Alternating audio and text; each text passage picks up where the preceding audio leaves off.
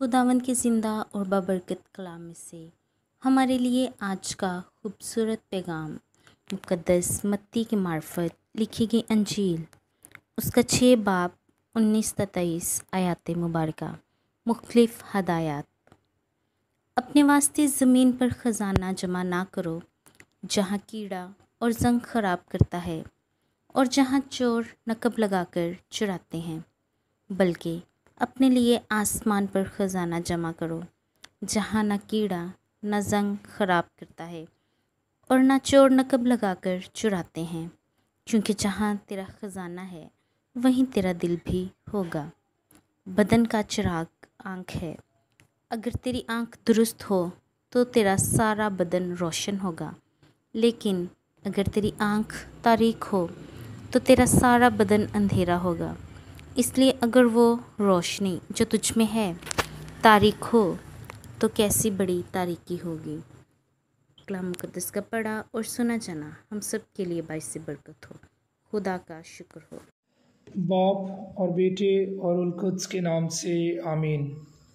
मसीह में मेरे अज़ीज़ मोमिन प्यारे भाइयों और बहनों, आप सबको फ़ादर हारून इलियास ओपी की तरफ़ से बहुत बहुत सलाम पहुँचे। आज हम कलाम की चंद बातें लेकर आप तक पहुँचे हैं। और आज हम खुदा के कलाम को जब खोलते हैं तो आज की पहली तिलावत मुक़दस पालूस रसूल का दूसरा ख़त ग्रंथियों के नाम उसके ग्यारहवें बाब में से सुनते हैं। और क्या सुनते हैं? कि खुदा का बंदा मुक़दस पालूस जो खुदा की तरफ़ से बुलाया गया, उसका चुना हुआ वसीला ठहरा।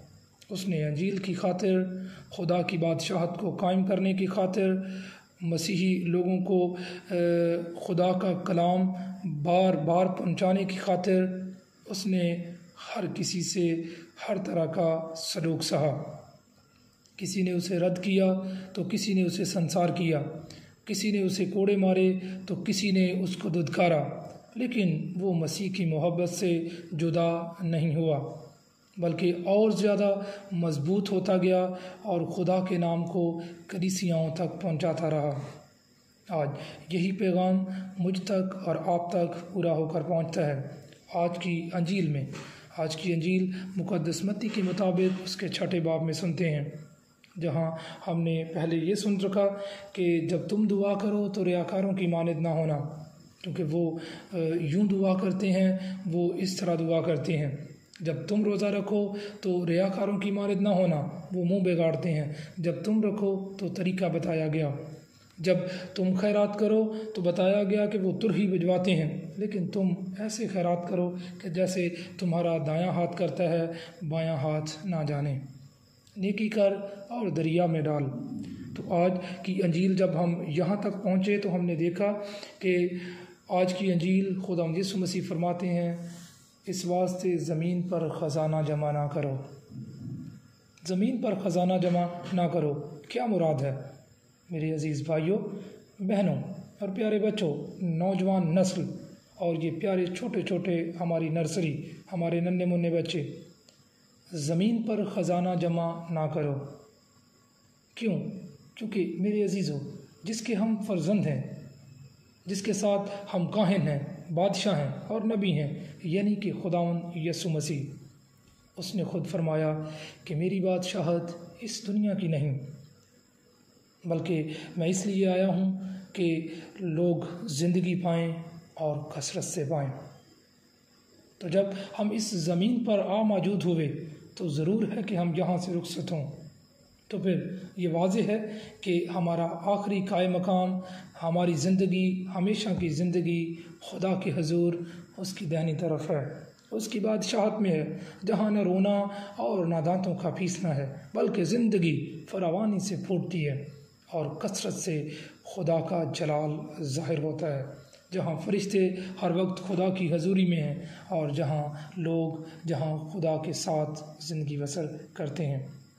खुदा यसु मसीह फरमाते हैं, जो लोग ज़मीन पर अपना ख़जाना जमा करते हैं, उसे कीड़ा लगता है, उसे जंग लगता है और उसका दिल भी वहीं लगा रहता है। क्योंकि खुदा यसु मसीह फरमाते हैं, जहाँ तुम्हारा माल होगा, वहीं तुम्हारा दिल भी लगा रहेगा। इसलिए मेरे अजीज़ों, ज़मीन पर माल जमा करने की, ख़जाना जमा करने की हम मसीहों को ज़रूरत नहीं है।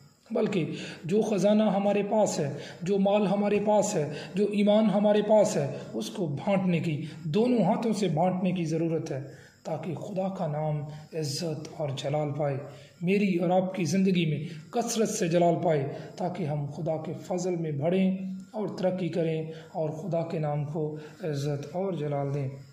क्योंकि जहाँ आसमान पर अगर ख़जाना जमा करते हैं, अगर हम ज़मीन पर ईमान को बांटते हैं, अगर हम अपनी दी हुई सलाहियतों को दूसरों के साथ शेयर करते हैं तो फिर हम खुदा के हजूर अपना ख़जाना जमा करते हैं और खुदा के हजूर अच्छी जगह पाते हैं। मेरे अजीज़ों, इसी ईमान में हम सब खुदम यसु मसीह के फर्जंद हैं। बपतस्मा की रूह से उसके बेटे और बेटियाँ बनते हैं। जब बेटे और बेटियाँ हुए तो हमेशा की ज़िंदगी के वारिस ठहरे। और हमेशा की ज़िंदगी क्या है? खुदा बाप के दाने हाथ। क्योंकि हम ये इकरार करते हैं, मैं ईमान रखता हूँ, मैं ईमान रखती हूँ। वो मसलूब हुआ, दफन हुआ, तीसरे दिन मुर्दों में से जी उठा, आसमान पर चढ़ गया और खुदा बाप के दहने हाथ जा बैठा है। वहाँ से वो जिंदों और मुर्दों की अदालत के लिए आने वाला है। तो इसलिए मेरे अजीज़ों, मसीहा करीब है। खुदा की बादशाहत करीब है, इसलिए हम अपना ख़जाना आसमान पर जमा करें। हम ज़मीन के इस चुंगल से रहाई पाएँ। हम ज़मीन पर अपनी ज़्यादातर तोानाइयाँ खर्च ना करें, बल्कि नेकी, सुलह, सलामती एतहाद और खुदा का फ़ज़ल वाज करने के लिए अपने आप को पेश करें। तो आएँ, आज फजल पाएँ, बरकत पाएँ अपने बुज़ुर्गों के लिए सीनियर सिटीज़न के लिए, अपने वालदेन के लिए, अपनी नौजवान नस्ल, बेटों और बेटियों के लिए और अपने छोटे नन्हे मुन्ने बच्चे नर्सरी के लिए दुआ करें कि खुदा इन्हें कसरत से बरकत दे, मसीही ईमान में बढ़ाए और तरक्की अदा करे। ये सब कुछ हम मांगते हैं, उसी मसीह हमारे खुदा के वसीले से। आमीन। बाप और बेटे और उलकद के नाम से। आमीन।